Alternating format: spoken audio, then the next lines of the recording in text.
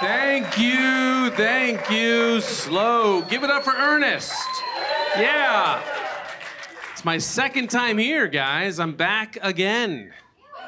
Yeah, it's good. It's far from my house. I don't live anywhere near here. I live very far from here. But it's good to be here. It's a real cowboy. Thank you, sir. Thank you. Yeah. It's a real one. I wanted to be a cowboy. I really did. I wanted to be a bull rider when I was a kid. But I was afraid of riding bulls, so didn't work out for me. Do you ride bulls? Oh, well. What? What? You grow greens? Does that make you a cowboy? I don't think it does. Fair enough. Fair enough. Yeah, guys, I've been. Uh, What are you guys? A Wes Anderson film right here? Thank you. Thanks for coming. Is Bill Murray here? Is Bill? What the fuck is going on? Yeah. Well, welcome. Thank you. Yeah. I'm not gonna. I'm not doing it. I'm not doing it. I refuse. Nope, I won't. I'm better than that. I have been uh, driving across this great country of ours, doing comedy all over the place, opening for Joe Prano, your headliner, and my former roommate. and uh, so, yeah, I've been all over the country, guys. And uh, I don't know if you guys have been out there lately, but uh, it's not very good. Yeah, stay here. It's better here. Even nice places like uh, we pulled into a, a, hotel in Nashville, Tennessee. I don't want to say the name of it, but it rhymed with Chariot Courtyard. Yeah, we pull in the parking lot. We soon as get into the guy, he's like pops out of nowhere, you know, and he's like, uh, "Whatever you do, you want to put all your stuff in your hotel room, because if you don't, the crackheads will steal it." I was like, "All right, who are you?" He goes, uh, I'm a crackhead. He's like, I'm also hotel security, but my job is mostly crack. It's what I majored in in college. Yeah, I don't want to complain though, guys. That's not what I'm here to do. I'm not. I'm not that kind of guy. I'm not a complainer. You know, like uh, look at me. I don't look like a guy that's had a very hard life. I look like a guy that auditions for Viagra commercials. I've thrown the football through the tire. I didn't get it. They're like, you have an audition for a Viagra commercial. I'm like, yeah. They're like, you didn't get it. Mm. You got a callback. They don't like you. Yeah, it's not fun. But I'm not complaining. That is not why I'm here I'm staying in a uh, air. You, anyone here from Arroyo Grande? I like. I don't know. You guys say the words out here like you're like fuck the Spanish. We'll say them. We're not gonna say them like they say them. We'll use all the things, but we'll say them differently. All right, it's fine. I'm, I do not even know how to say where I'm saying. Like I'm saying, I want to say Arroyo Grande, but it's like it's like Arroyo Grande. I don't know what to say. But that's what I'm saying. I'm staying in an Airbnb there. Anyone here from there? No one? Yes? All right. Fuck Arroyo Grande. I don't care. it means nothing to me. The place means nothing to me. But I am staying there, staying in a really nice Airbnb. Uh, they have like chicken coop. Just cool. The woman was like, "You can eat all the eggs you want." You know, inflation. I'm like, I'm eating all the eggs. I've had 17 eggs in the last 24 hours. I'm like, fucking I feel like Cool Hand Luke, you know, it's not good. I'm harassing the chickens. I'm like, come on, let's go.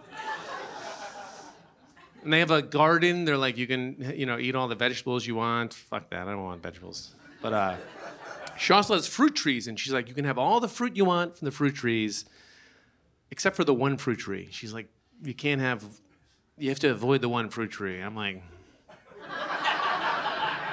it's feeling biblical at this point. And I just, you know, and I'm like relating to Adam. I'm like, I just want the fucking avocados. Like, I just, I just want to try them. You know, I can't resist. So I did. Today I had an avocado, and I immediately realized I was naked. I had been naked for a while. I was masturbating in the fucking hot tub. That's besides the point. It's just that God should not be fucking with us like this. Like he shouldn't shouldn't be doing this to us because it's too tempting. And he's mean. He can control things and he doesn't. So it's not cool. It's not cool. Bills fan. Bills Mafia? Hell yeah. Avoid her. Very dangerous people. They jump on tables and. Oh, are you in the real mafia? Oh, you're not that crazy. All right, fine. You're gonna win this weekend. I have thirty thousand dollars that says you will. If you don't, I'm killing myself. So I hope you win. Yeah. All right, you guys are nice people. I just got married, first time in my life. Thank you. Yeah. First time for me. First time I got married. You guys probably wondering, like, what took you so long? I don't know. Where are my married couples at? That's why I waited. That's why I waited as long as I did, because they're not selling it. They're like, they don't seem at all excited about it, so I was like, fuck it. I will wait as long as I will wait. And I did. Waited this long, and here we are. But my wife, my wife is a lot younger than me. She's like 15 or 16 years younger. I don't know. She's a lot younger than me, but uh, it's kind of cool. Also a little creepy, but kind of cool. Mostly cool. I'm glad I waited though, you know, because uh, if I got married when I was young, younger, who knows where I'd be? Probably jail, right? I think it's a felony to marry someone 15 years younger than you and you're in your 20s. I don't know. I think everything is illegal here in California, so it's definitely illegal in New York. Welcome back, dude. Welcome back, dude. Yeah, but my wife, like Ernest, is a Native American. Yeah, she's one of the first ones here. First ones in the whole place. Uh, not her, she's like young, but her, you know. Anyway, we get we eloped in the backyard of my mansion, and uh, just the two of us. And and she was like, "I think uh, this spring our family should meet," you know. And I was like, "Haven't your people suffered enough? Like, do you really need to spend a weekend with my family? I don't think you want to do that. Like." Can tell you this, you're not, you know, when it's over, you're not getting a casino, you know. You're just gonna go home angry. Because they're bad people. Her family's good. My family's, you know, a bunch of drunks. You guys understand. You guys like uh, animals here? You love animals, right? You like dogs? Is that your thing? Dogs? Dog people? Anyone? Yeah? You like dogs? No one else? Just you? That's fine. I have a dog. I feel like you can tell a lot about a person by the kind of dog they have, right? Like if you see a, a big guy with a pit bull, probably likes MMA, right? Probably puts butter in his coffee because Joe Rogan told him to. Yeah. Or if you see like a couple with a labradoodle, those are bad people. Right? They like love their Range Rover and hate immigrants. Yeah.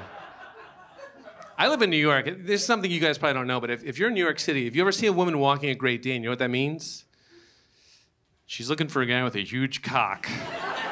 It's true. It's like a bat signal. No one knows that. It's true. It's like a whole thing that's going on. But when I see that, I just, I keep moving. Stay in my lane. My wife has a small to medium sized dog. That's a joke about my penis. All right, you guys have been wonderful human beings. Thank you so much. This is going to be a great show. Enjoy the rest of it. Thank you so much.